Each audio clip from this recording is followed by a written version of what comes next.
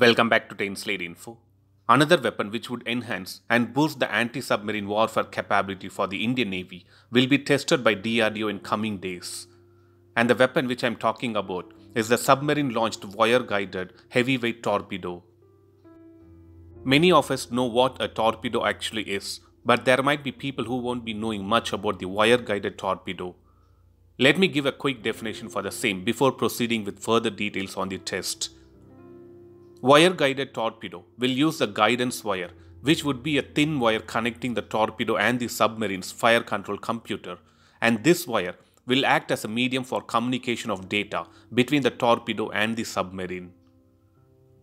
Using this wire, the submarine would be able to give the guidance commands in the form of digital electronic signals.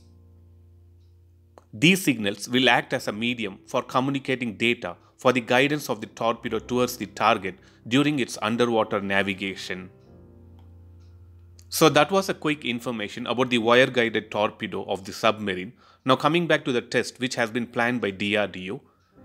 This torpedo, which has been developed by the Naval Science and Technological Laboratory, will be tested from a submerged pontoon in Vishakhapatnam. The test would be closely monitored by both DRDO and the Indian Navy members. These heavyweight wire guided torpedoes would be launched from the submarine's torpedo tube and it would be guided by a wire for greater accuracy and control.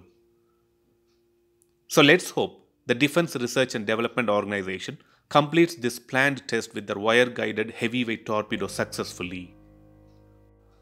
I'll be uploading one more video once the test is completed and once I get more information about the same. Thanks for watching. Stay tuned to 10SlideInfo for more defense and aviation related updates. Thank you.